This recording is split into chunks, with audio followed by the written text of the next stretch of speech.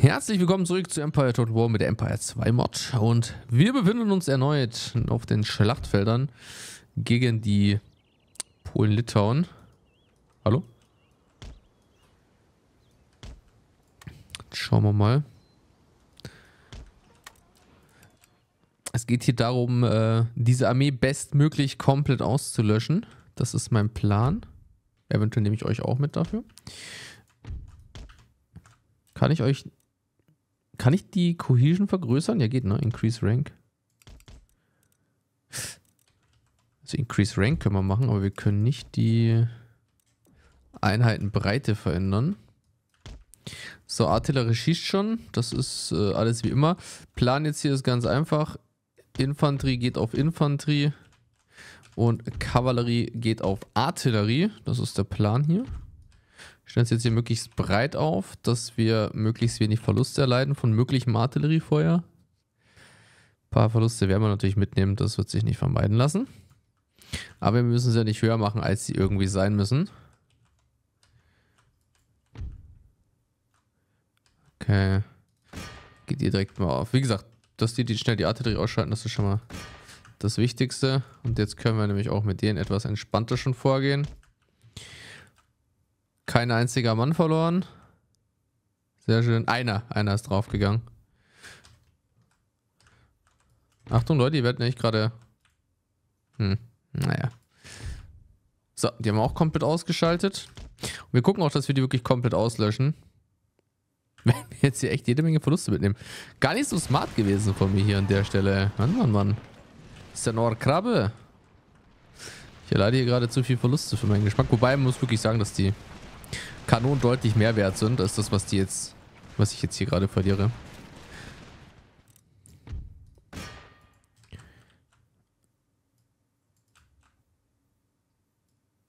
Drei Mann haben wir getötet, wow. Mal ein bisschen besser in Position. Sind auch ein bisschen besser in Position. Jetzt lassen wir mal ein bisschen schießen. Die einfach mal ein bisschen ballern. Wenn wir einfach später nämlich mit unserer Kavallerie in den Rücken fallen. Die warten ja aktuell einfach nur auf ihren Auftritt. Und das machen wir dann gegen die und gegen die. Das ist der Plan. Aller Verluste zum Trotz. Das ist Nummer 1, das ist Nummer 2 und dann wird sich das jetzt wahrscheinlich auch sehr schnell erledigt haben. Feuer einstellen. Wir machen weiter. Plan ist jedenfalls voll aufgegangen und wie gesagt, wir gucken jetzt, dass wir die komplett auslöschen. Die sind auch weg. Müssen wir nur noch die wegmachen. Und da bin ich schon mal zufrieden. Schon mal ein wichtiger Sieg hier an der Stelle. Ja, das soll es auf alle Fälle gewesen sein. Knapper Sieg angeblich. Sie haben die komplett platt gemacht. Bis zur letzten Fliege. Knapper Sieg. Ja, 240 Mann haben wir verloren, aber Nee, nie im Leben haben da welche überlebt. Komm, hör auf, Alter.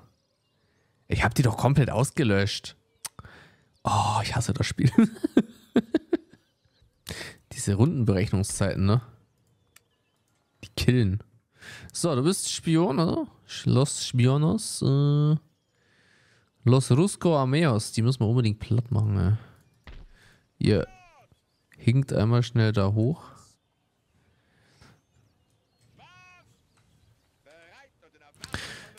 Dich tun wir weg. Dafür rekrutieren wir nachher lieber nochmal eine neue Einheit. Da nehmen wir noch die nächste Stufe mit. Das sind fünf. Dreimal Pikiniere davon. Also an sich nichts, wo ich jetzt hier irgendwie groß zum Schwitzen anfangen würde, unter normalen Umständen. Ähm die müssten eigentlich verstärken da drüben. Ja. Also die kommen sogar alle zur Verstärkung dazu. Machen wir jetzt hier mal Auto-Resolve. Die Verluste auch wieder deutlich höher, als es notwendig gewesen wäre. Hm, naja, lassen wir mal so stehen. Das Ding ist auf der nächsten Stufe. Die Forschung haben wir nächste Runde fertig. Echt? Nur ein Prozent, obwohl ich das jetzt ausgebaut habe?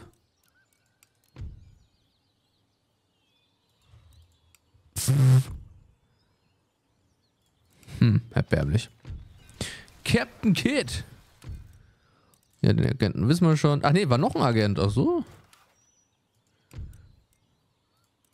Moment.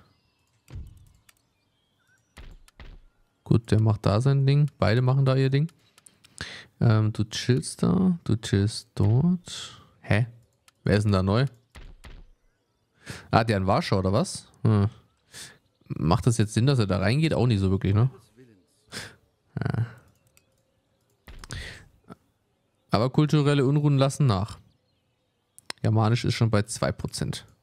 Bin gespannt, ob die Forschung, ob das wirklich äh, was bringt oder nicht. Das ist das, was mich jetzt am meisten interessiert. Oh.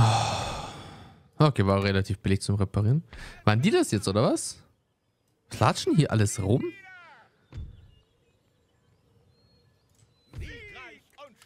Okay. Die sind beide draufgegangen. Minus 5% Bewegungsreichweite. Plus 2 Kommando im Kampf gegen die Osmanen. Also, im Kampf gegen Russen und Polen haben wir jetzt einen Bonus gegen Osmanen bekommen.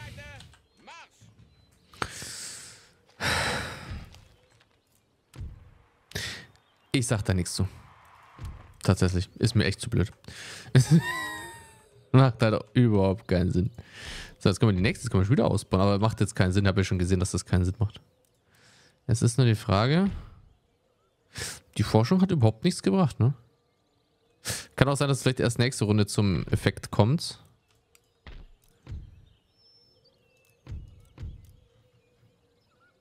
Kosten ist 1500. Freund bin ich nicht davon. Kulturelle Unruhen haben wir aber fast keine mehr. Das hat sich, wir haben jetzt auch eine gewisse Garnison schon in, in, in Warschau. Die zwei Kanonen würde ich halt gerne nochmal irgendwo mit hinschieben, wo sie gebraucht werden würden. Da unten zum Beispiel. Ah. Ne, also Unruhen haben wir hier keine mehr. Warte, warte, was? Ach, hör auf.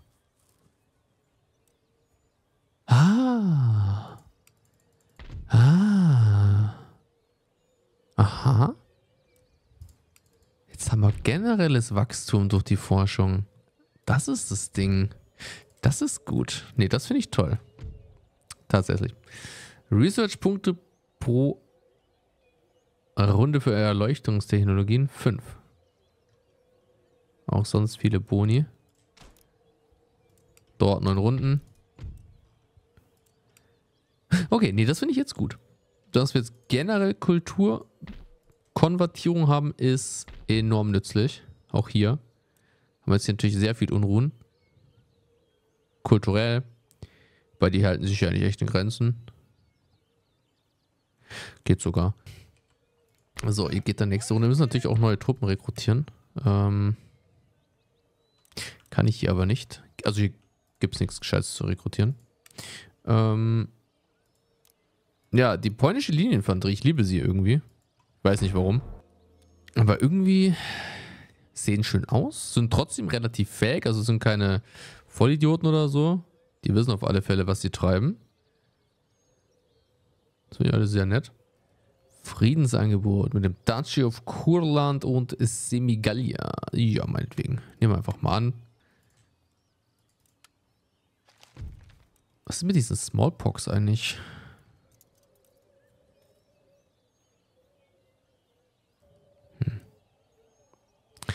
Töten eine von drei Infizierten.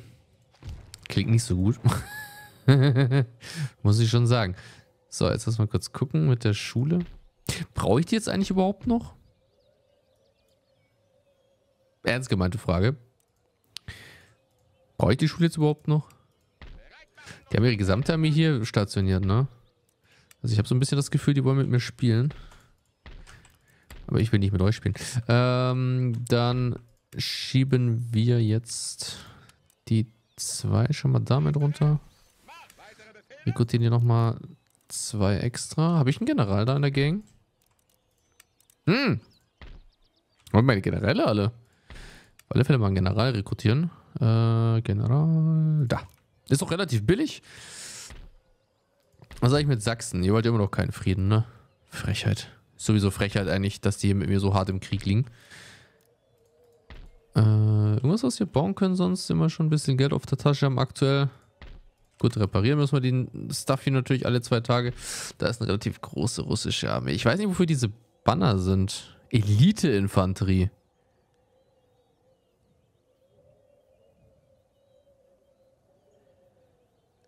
Boah.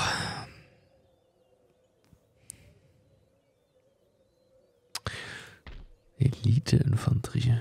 Übertreiben die hier auch noch? Das ist Mob. Mob will ich aber nicht. Die Kanone hier hat es halt auch komplett hops genommen, ne? Wir sagen, wir lösen die auf und rekrutieren dafür lieber einmal neue. Alte royale Kanonen. Fix-Artillerie. Ne. Ne, Fix-Artillerie mag ich nicht. Die könnt ihr behalten. Wir schicken jetzt dich damit hin. Und dann die drei mit darüber. Wie gesagt, Königsberg dürfte eigentlich äh, keinerlei Probleme machen. Vor allem jetzt auch mit der kulturellen Konvertierung. Das sieht alles gut aus. Können wir sogar nachdenken, rein theoretisch, dass wir die Steuern mal erhöhen. Aber man muss ja nicht übertreiben, ne? Was haben die? Ah, lecker, okay. Da muss ich wirklich gestehen, das ist problematisch wegen den 5 Kavallerie. Weil aus Erfahrung kann ich sagen, Kavallerie sackt, wenn du gegen sie kämpfst. Die Armee selber ist, ist Trash.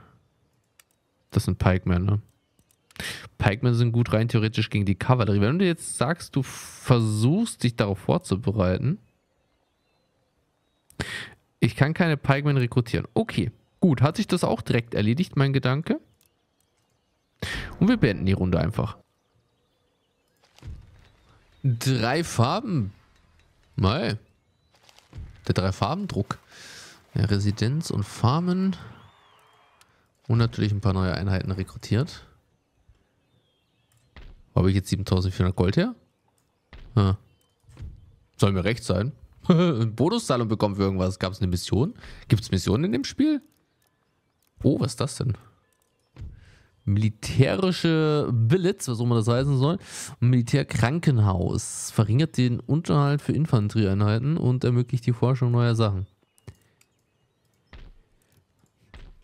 Habe ich eigentlich die Schule hier unten fertig? Das ist das Einzige, was mich interessiert. Ne, dauert noch eine Runde. Die sammeln sich da immer noch. Drei Runden für den General. Ja, das bauen wir auf alle Fälle aus, wenn wir da die Möglichkeiten zu haben. Hier das gleiche Schauspiel. Und dann, ja, wir chillen einfach weiter, ne? Hier ist sogar die deutsche Kultur schon auf Platz 2 relativ schnell. Ne, finde ich gut. Finde ich gut. Äh.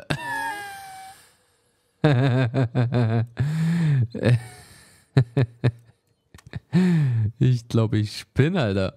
Schweden will Frieden schließen. Wir sollen Schweden dafür bei Ostpreußen geben, eine Technologie und am besten noch unser gesamtes Einkommen, unsere gesamten Familienkinder und unsere gesamten Goldvorräte, oder?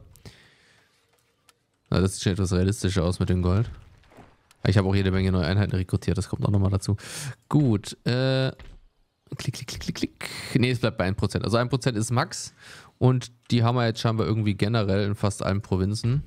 Außer hier ist 0,5% bloß. Kann aber damit zusammenhängen, dass wir schon über 50% haben.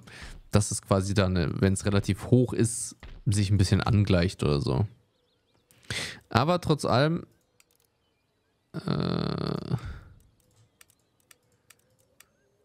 ja, die Frage. Wobei wir haben. Also könnten die Nobility echt härter besteuern, ne?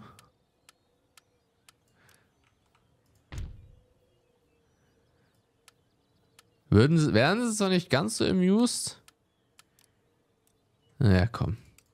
Lass mal trotzdem. Wir lassen es einfach mal. Wir, wir stochern nicht in den Wunden der armen, reichen Leute rum.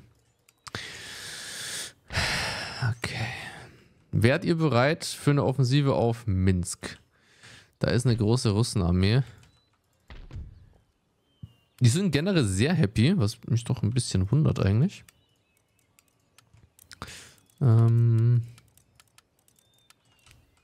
wir kommen sogar direkt hin. Wir nehmen mal nicht alle mit, nur einen Teil. Und wir greifen auch direkt an, hätte ich gesagt. Äh, kurz, kurz belagern. Oh, die sind immer noch hart am Chillen. Das passt. Rekrutieren können wir auch nichts. Das passt nicht, aber was wir machen. Und die schieben immer weiter Stück für Stück neue Einheiten rein. Ja.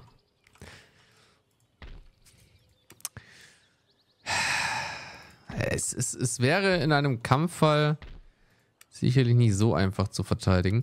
Wir schieben jetzt trotzdem nochmal. Ich, ich, bis jetzt hat Sachsen nichts gemacht, deswegen schiebe ich die Truppen jetzt trotzdem mal weiter zu unserer Hauptfront rüber und greifen das Ganze jetzt an. Wünscht uns Glück, Freunde. Wenn wir das auch nochmal schaffen, dann ist Polen-Litauen eigentlich größtenteils besiegt. Ja, das ist ein schöner Startbildschirm, wie man reinkommt. Okay, ähm... Moment. Also, müssen da drüben hin. Das Problem ist, wir können unsere Artillerie wahrscheinlich in dem Fall nicht so gut einsetzen. Wir gruppieren die Wumpe mal schnell und packen die Artillerie mit vorne rein. Ja, genau, so habe ich es mir vorgestellt. So, einmal hier rein. Zack. Ich gehe jetzt einfach mal stark davon aus. Genau. Das, genau das dachte ich mir. So. Das heißt, wir bewegen euch jetzt einfach mal ein bisschen nach vorne. Finde es ja trotzdem schön, dass sie sich nicht hier in den Häusern verschimmeln, wie ich es machen würde. Na, kommt dann. ich habe übrigens schon die Kartätschenmunition geladen. Die schießen hier schön in den Berg rein. Oh Gott, die schießen auf unsere eigenen Leute. Jo. Jo, Leute, macht mal kurz einen Abflug. Bevor die euch nochmal den Kopf wegballern. Gibt ja nicht sowas.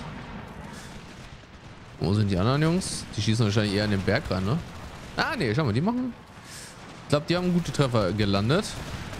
Trotzdem farmen wir jetzt erstmal hier die irregulären Freiwilligen. Ja, selber schuld, wer sich freiwillig... Digga, die legen sich einfach wieder schlafen. Was ist denn das für ein Trend? Irgendein Trend verpasst? Ja. Flankieren. Was ist das da hinten? Hä? Oh nee. Also ja doch, aber... Oh nee. Kurz weg. Äh, okay. Ihr hört auf zu schießen. Ihr hört auch auf zu schießen. Ihr hört mal beide auf zu schießen. Komm, lasst mal gut sein. Entspannt euch.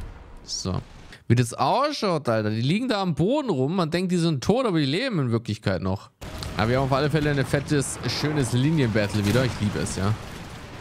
Beide Seiten schenken sich nichts. Rauch, Musketenschuss. Geht's hier gut? Ja, scheinbar nicht. Oh, shit. Oh. Wann ist denn der Hops genommen worden und vor allem wie? Hey. Nicht so toll. So, wir machen jetzt hier eine auf Herr der Ringe.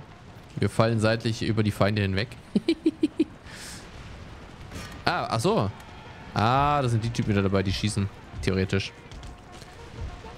Du jagst mal kurz die, die da stehen. Schön hier flankieren. Vielleicht beschießt ihr die sogar von hinten. Das dürfte die noch weniger, denen noch weniger gefallen hier. Laden die nach, während die reiten? Das ist übrigens auch total dumm, was ich mache, weil wir hier von Friendly Fire höchstwahrscheinlich getroffen werden. Hm, noch nicht. Boah. Leute, ihr habt von hinten beschossen, ne? Juckt die überhaupt nicht. Nachladen. Wir haben ein bisschen traurig gemacht, dass sie nicht richtig reingesteckt haben in die, in, ins Loch. Dass das nie wirklich funktioniert hat. So. Die haben auch keinen Bock mehr. Wichtig ist auch hier nur wieder einen überwältigenden Sieg zu feiern. Oh Gott, oh Gott. Was ist denn da hinten eigentlich? Irgendwelche Garrison Guards. Wo kommen die denn her? Gut, Garrison Guards erklärt sich nicht von selber. Äh, reinchargen einmal bitte. Okay, die schauen uns gar nicht an. Hey, die rennen jetzt schon weg. Kein Faxen.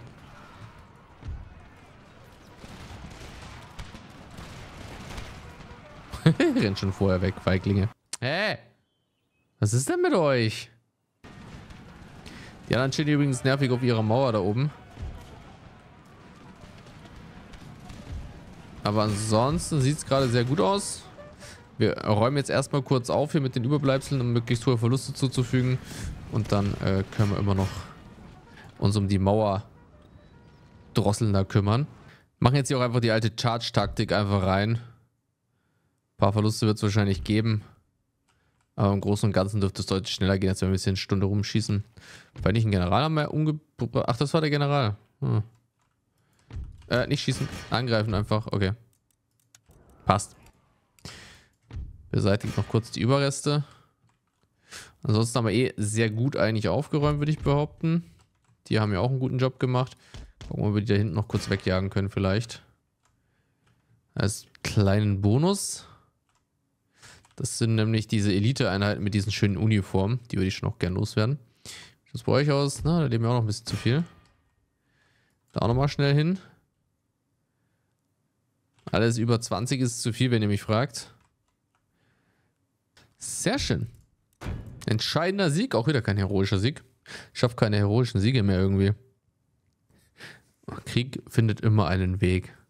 Bertolt Brecht, deutscher Poet. Ja. Sehr gut, die haben wir komplett ausgelöscht. Und haben damit auch diese Provinz erobert. Und damit ist eigentlich jetzt Polen-Litauen-Geschichte. Deswegen würde ich mal sagen, wir versuchen einfach nach Frieden zu ersuchen. Mit Polen-Litauen. Unter normalen Umständen sollten sie das jetzt eigentlich akzeptieren. Ich kurz gucken, Polen-Litauen. Frieden und Forderung. Hm. So viel dazu.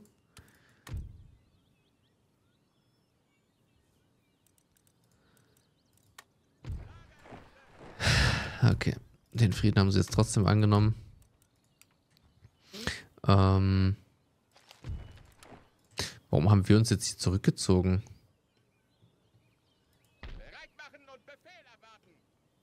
Hä?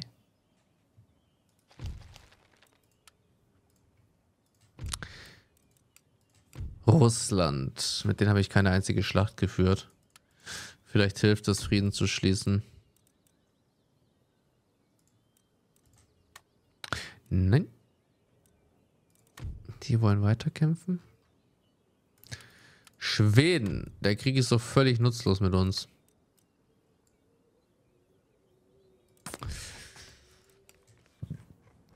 Gut. Wir bewegen diese Armee in ihrer vollen Größe Richtung Sachsen. In der Hoffnung, dass sie auch diesen Frieden ehren, sage ich jetzt einfach mal. Ich würde hier tatsächlich eine Farm replacen und da eine Schule nachher hinbauen. Auch hier haben wir ein Wachstum deutscher Bevölkerung. Natürlich auch sehr hohe Unruhen aktuell. Das wird sich allerdings bald ändern. Können wir vielleicht noch Milizen? Haben wir keine. Immer zwei Milizen rekrutieren noch zusätzlich. Und so will ich an der Stelle sagen, liebe Leute, danke fürs Zuschauen für heute.